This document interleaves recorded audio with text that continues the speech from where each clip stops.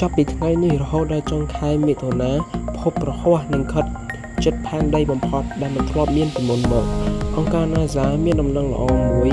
នាដើមខែមីនានេះ សម្រាប់អ្នកដែលចូលចិត្តខាងលំហអាកាសភពធំ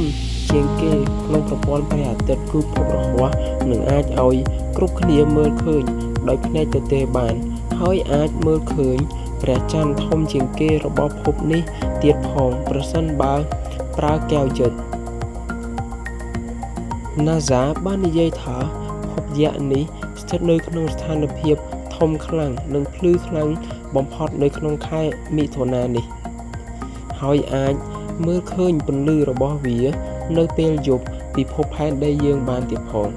ភពរហ័សនឹងដើរចូលកន្លងផ្ទុយដែលកើតមានប្រចាំឆ្នាំ គឺពេលដែលភពរហ័សនិងភពផែនដី និងភពព្រះអាទិត្យស្ថិតនៅក្នុងត្រង់ជួរគ្នាដោយផែនដី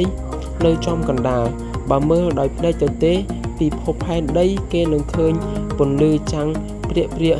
លើមេឃប៉ុន្តែបើសិនបើយើង មានកោយិតឬមួយក៏ telescope ខ្នាតតូចនោះនឹងអាចមើលឃើញស្នាមឆោតនិងស្នាម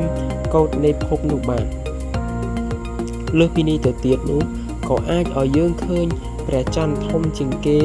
ទាំង4របស់ភពនោះផងដែរអ្នកវិទ្យាសាស្ត្រជឿជាក់ថាភពនេះ គឺមានព្រះច័ន្ទចំនួន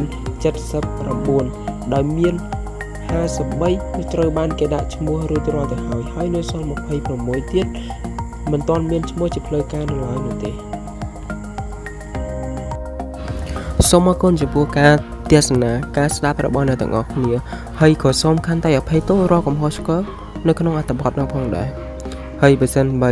អ្នកទាំងអស់គ្នាចូលចិត្តឲ្យខ្ញុំធ្វើវីដេអូបន្តទៀតអាច comment នៅខាងក្រោមឬមួយក៏មានពាក្យអីរិះគន់ក៏អាច comment នៅខាងក្រោមនោះដែរហើយអ្នកទាំងអស់គ្នាសូមជួយ subscribe នៅ channel ខ្ញុំផងសូមអរគុណ